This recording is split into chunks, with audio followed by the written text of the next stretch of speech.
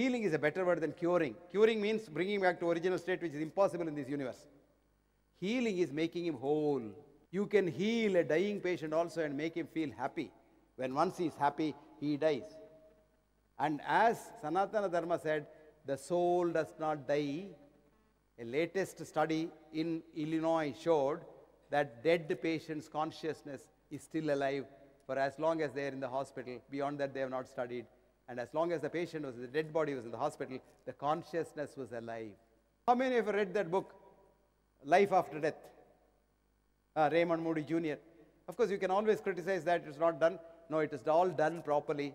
And all that showed was when you have a heart stopping and brain dead, when the brain doesn't get blood supply, you still can see your consciousness telling you. One nurse told this patient, they were giving him pumping and all. She came and said, Hey, leave him alone here. He's dead. And she went. She was the main nurse in the theater. No? This patient had never seen that lady before. Okay? Anyway, he recovered and he was in the intensive care unit recovering very well. And this nurse is um, being the matron. She goes there and says, Hi, how are you? Then she said, You are the lady who said this ass is dead. I'm here alive. She, was, she collapsed.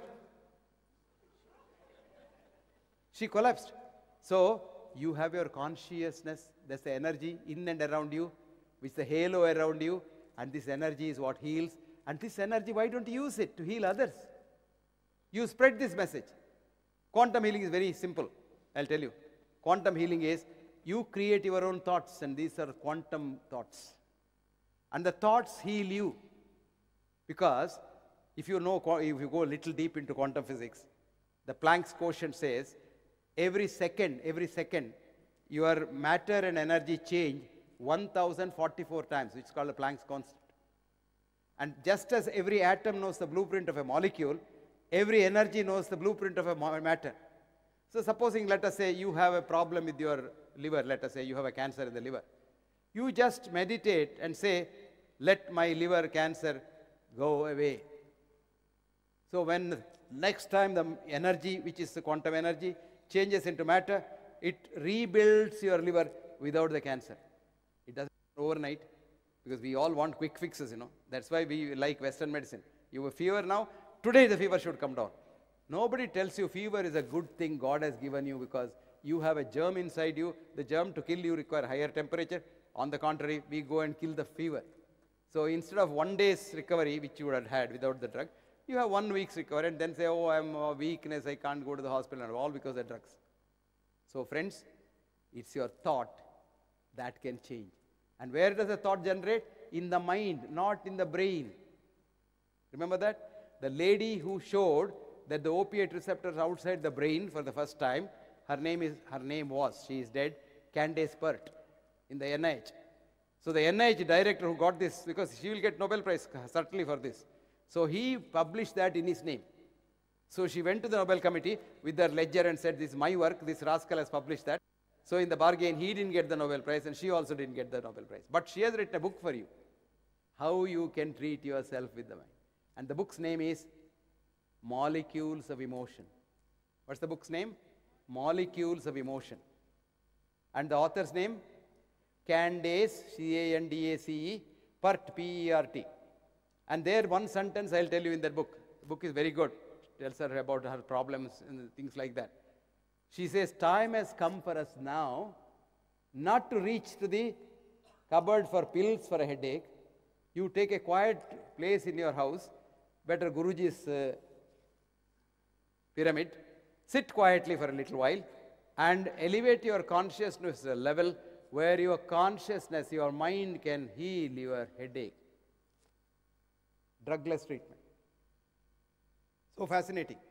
And a lot of people will say, oh, what is homeopathy? I can't see any chemistry in homeopathy. I test it, it's no chemistry. There can't be chemistry because it's not meant to be chemistry. Now, Rustum Roy has found out the structure of water, which has got loose bands. You put any medicine, say a drop of Sambucus nigra into medicine, that changes the structure of medicine. And the same structure remains changed even if you dilute it one million times. And the, it's a change structure's energy that heals and not the chemical. Chemical, if you give it to the body, it destroys. Here there's no chemical, only changed water. And water is alive. You know, we, we were taught in botany that water is sucked up the tree uh, by capillary action? No. Water is so alive, like a snake, it can go wherever it wants to go. Water is fascinating. So, the new science of evolutionary biology has clearly taught us that the human system is a closed system. Vis-a-vis the Western science which says human system is open system. What is the difference between the two? Simple difference is, in the olden days, you wanted hot water in Bangalore for a bath, you had to take a bucket of water and put your heater inside that. When the water is hot, you to remove the heater yourself, which means for the water to be heat or cold, you require an outside agency, a doctor, to do that. Today, we have come to a geyser. You switch on and go away.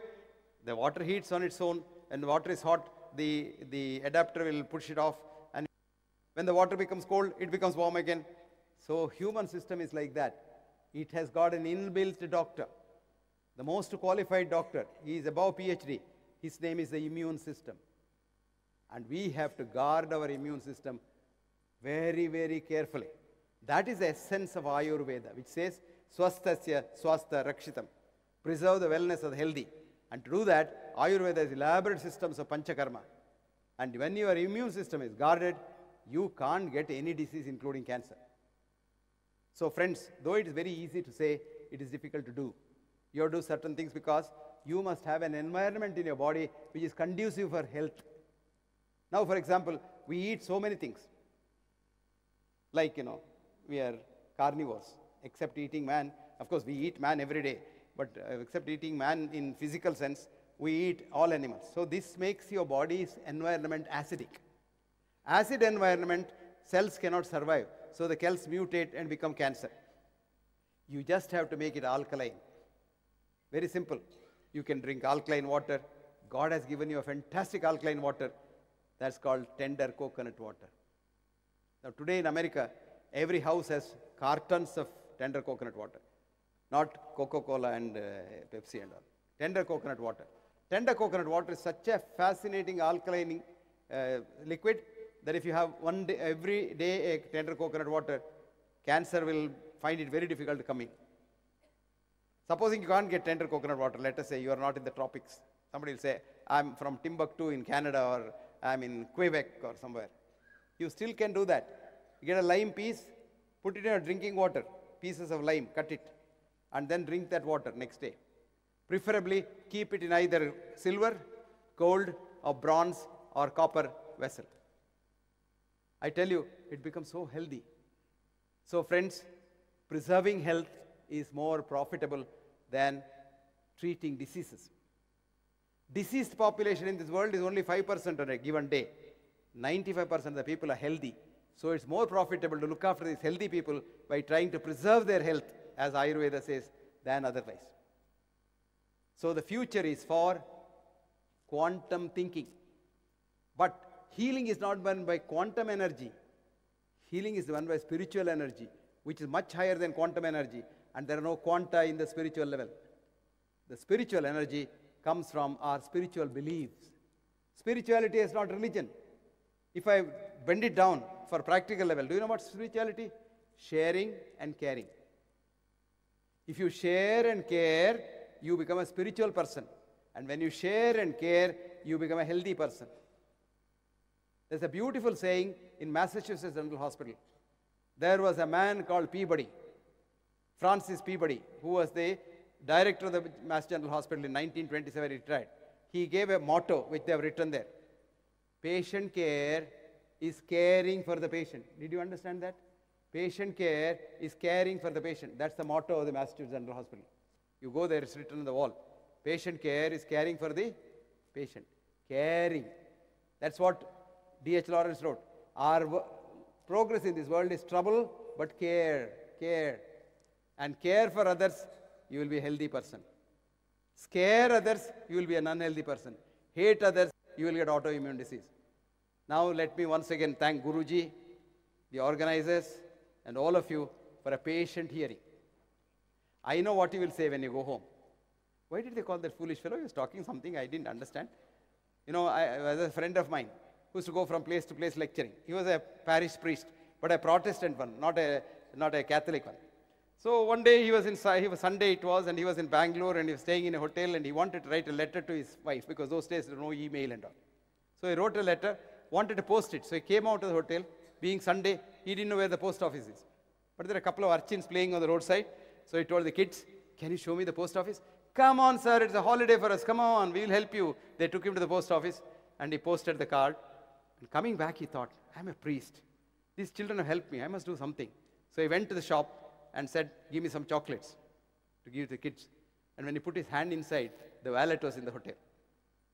So he told the kids, Sorry, I don't have money to buy you, but this evening I am giving a lecture in the pyramid of Guruji. It costs you 100 rupees to enter, but I'll give you some ticket. You show it to the entry people there and say that this man is talking, so we will come and attend free. So this is my present for you.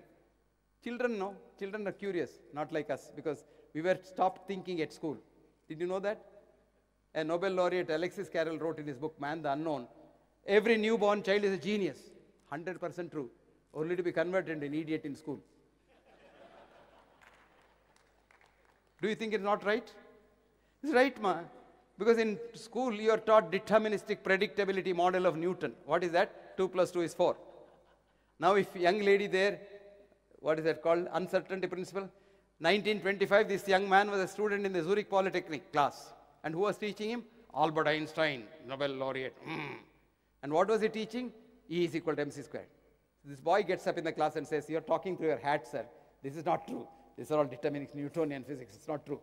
What happens to a student who tells a Nobel laureate teacher that he is uh, foolish? He becomes an outstanding student. So standing outside physics for 30 years, and he gets his Nobel Prize in 1956 for what he said in 1925. What did he say? Uncertainty principle. QP is not equivalent to PQ, which means 3 into 2 may be 6, but 2 into 3 need not be 6.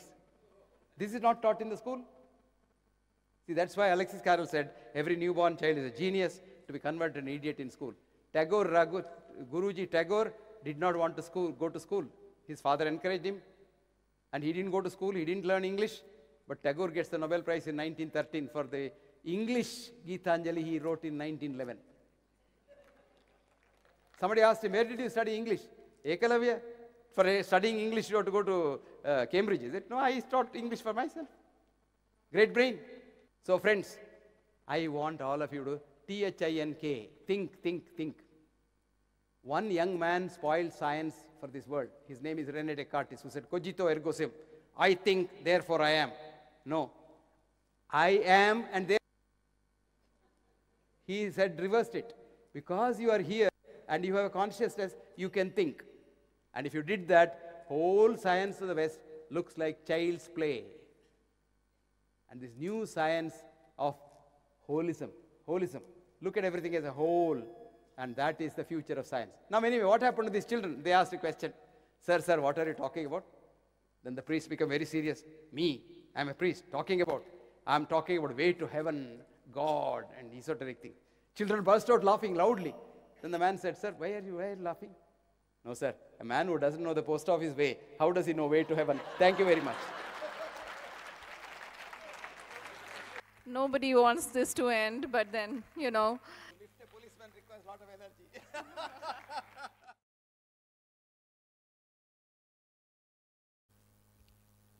Well, uh, you know, nobody wants uh, the talk to end. That itself shows how greatly we all ap- admired, appreciated.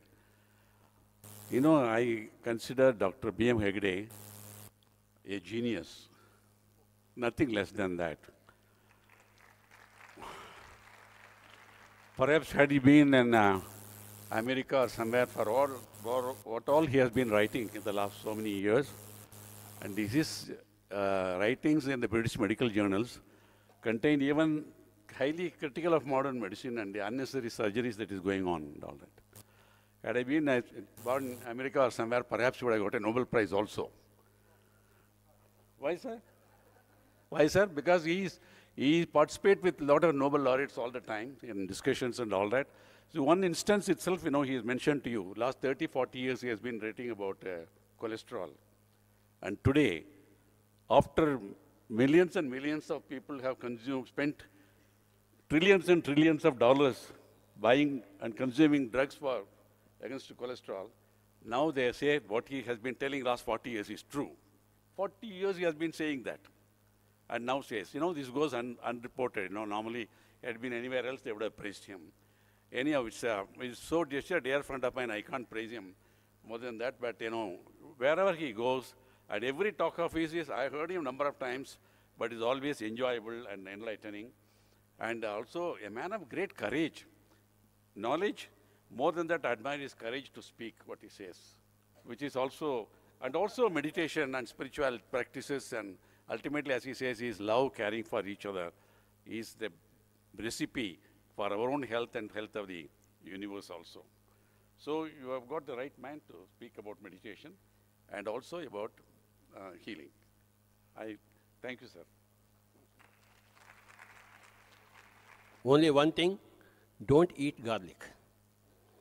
He needs a third eye to know and understand many, many more things, which comes from meditation. Third eye gives you knowledge of all the other dimensions, all your past lives, past karma. Meditation gives you third eye. Third eye, you see the truth. Without third eye, you don't see the truth.